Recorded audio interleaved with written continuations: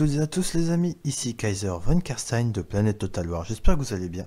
Et aujourd'hui je vous retrouve pour une bataille multi sur Total War Warhammer, donc ce sera pour la série Ruse et Stratégie Infinie, donc ça sera le 12 e épisode, donc ça fait un moment que j'ai pas tourné dessus, parce que voilà j'avais fait d'autres projets en tête pour ma chaîne. Et du coup je me suis dit que je voulais vous retourner un épisode dessus avec euh, une bataille multi que j'ai faite à savoir hier, donc avec mon adversaire qui n'est pas là pour cette fois Adichat, donc euh, c'était un combat homme-bête pour ma part et nain pour sa part. Donc du coup, je vais vous commenter un peu la composition de son armée, vu que c'est un nain, vu que c'est mon adversaire que je présente toujours en premier. Alors, il a fait en premier une ligne de guerriers nains, il a mis les 4 guerriers. Euh, avec bouclier, bien sûr, défense en tir large et tout le bazar. Il a mis sur les flancs deux unités de guerriers à armes lourdes à la hache, donc euh, très costaud.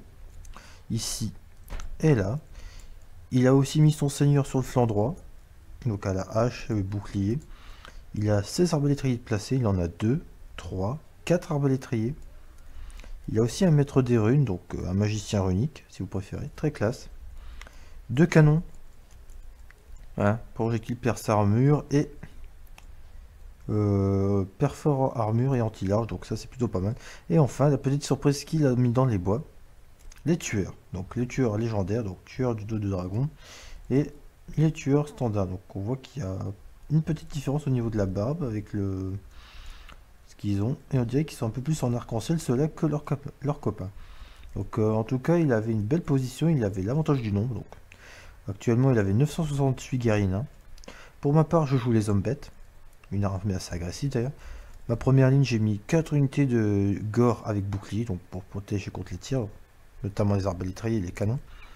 Derrière eux, trois unités d'élite, donc les bestigors, achat de main, perce armure et en armure. Derrière eux, mon général, le seigneur euh, des bêtes, plutôt la classe. Et à côté de lui, pour l'assister, un chef minotaure, donc euh, anti-large, perce armure et en armure, donc un beau bébé quoi.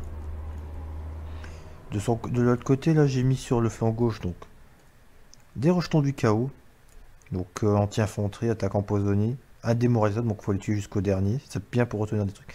Et il se moque des pénalités de combat en forêt. J'ai aussi un char à Razorgore de ce côté-là, donc anti-infanterie, perce armure, aucune pénalité en forêt aussi. Et sur le flanc droit, j'ai une autre unité de char à Razordon, accompagnée d'unité de Minotaur. À deux haches, à deux mains, à la main, donc euh, plutôt costaud.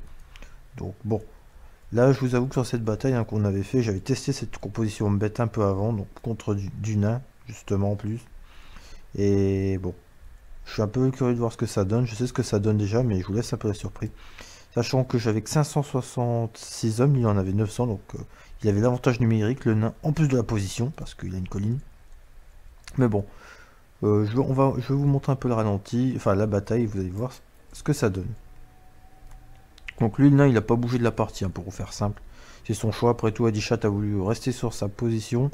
En même temps, je l'aurais fait pareil, je pense, avec les canons qu'il a.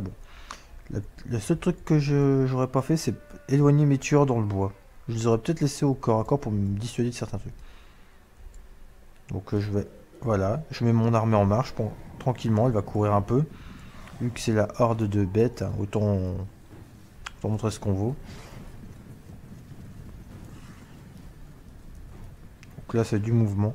Je bouge aussi euh, mes chars et mes euh, et mes rejetons du chaos sur les flancs pour euh, qu'ils aient leur escompté.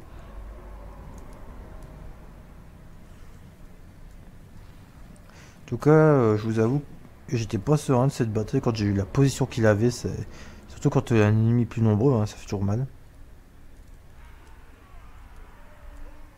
Donc là, les nains ils nous attendent, hein, ils sont motivés.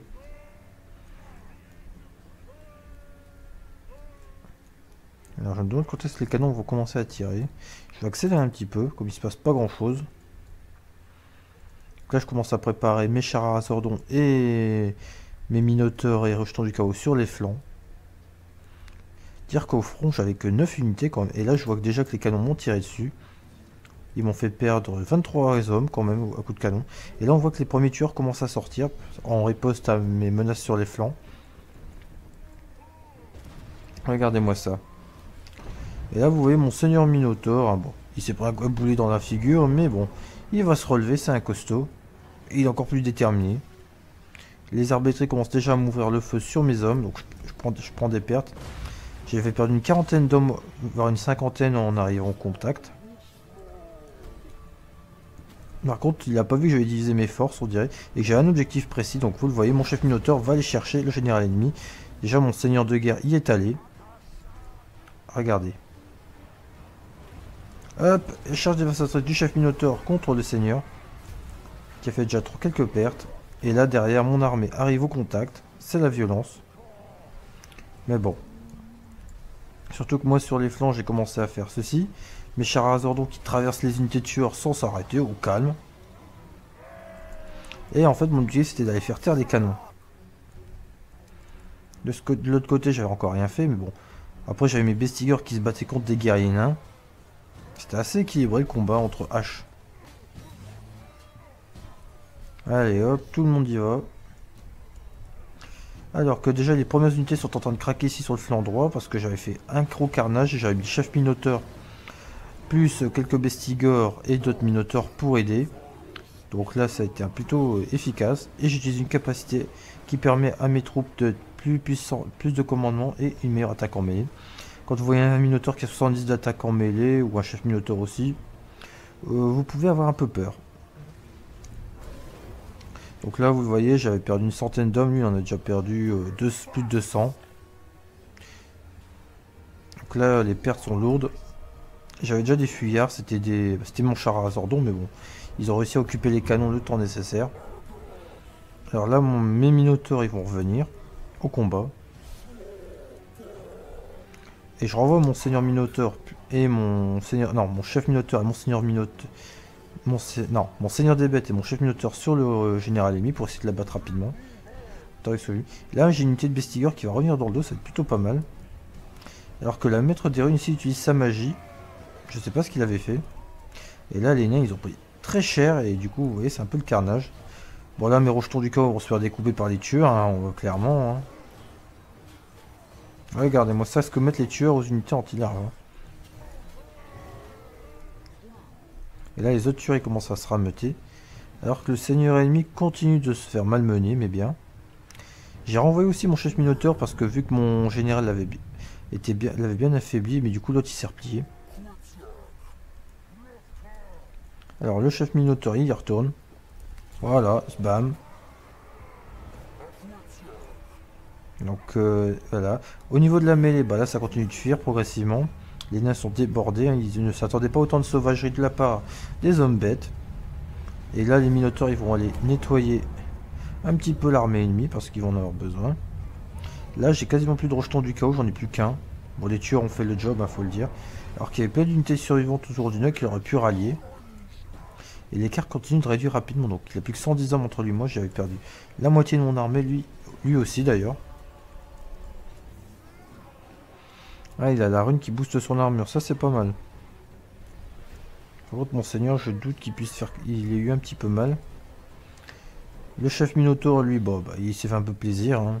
il a pour s'acheter des fuyards.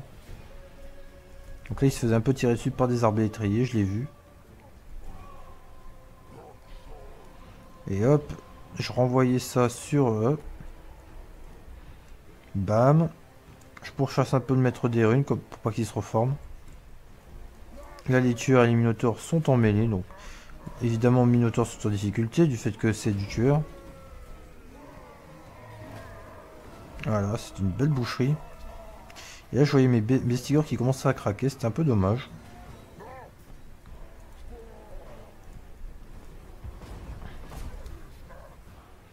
Je rassemble mes unités survivantes ici. Même si mon seigneur est en train de craquer. Hein. Voilà. Il lui restait un PV au gars. Ah bah il l'a eu. Bon, après il me restait combien de PV 400 avec lui. Ouais, bon. Le chef Minotaur qui arrivait au niveau des canons pour massacrer les artilleurs. Ah bah lui il se sera fait plaisir. Hein. Alors qu'ils ont tué aussi mon seigneur de guerre, hein, ces salopards. Bon. Il restait mon chef Minotaur, et heureusement. Là, j'aurais pu tout perdre en une bataille, hein, mais bon. J'ai l'avantage numérique maintenant. Je suis un peu reposé mon seigneur Minotaur, mon chef Minotaur pour y arriver. Alors que j'avais mes deux hardes de gore qui n'avaient rien fait. Là, je rassemble tous mes survivants pour tenter de faire un maximum de dégâts.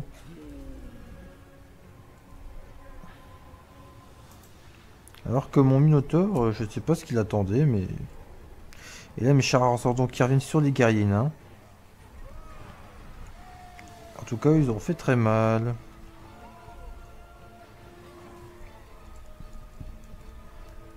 Et hop.